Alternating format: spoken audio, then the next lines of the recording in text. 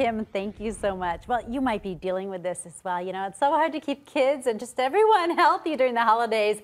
Uh, the kids get sick, we get sick, grandma gets sick, everyone passes it around, and it happens in, say, hypothetically, newsrooms as well. We have Dr. Steven Hauben with us of Good Night Pediatrics, and he has some ways to avoid the usual holiday sicknesses. So, Doc, good morning to you. Morning. Uh, first of all, is it too late to get that flu shot? It's never too late to get the flu shot. Um, the flu runs through uh, March, and you can the flu takes a couple of weeks for the actually to get the immunity from the flu shot. So we're always vaccinating even even into January, February. Because some kids are, aren't old enough to get the flu shot oh, when they oh. when we start. So you have to be birthday. at least yeah you have to be at least six months old to get the okay. flu shot. So even kids that are in March or February say no, come in and they turn six to get the flu shot. What are, what's going around right now? I mean, people are dropping like flies.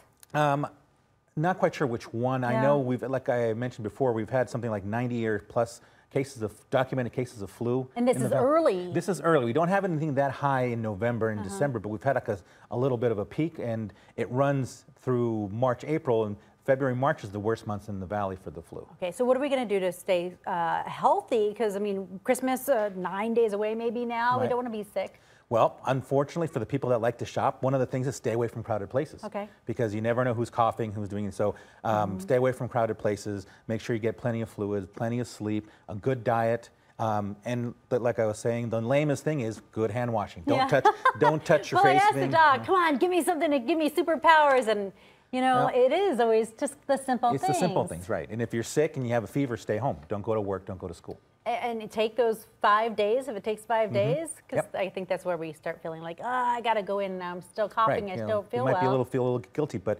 how guilty are you going to feel if you get everybody else sick? Right. Okay. So what about, um, is there anything that I could take to kind of boost my immune system?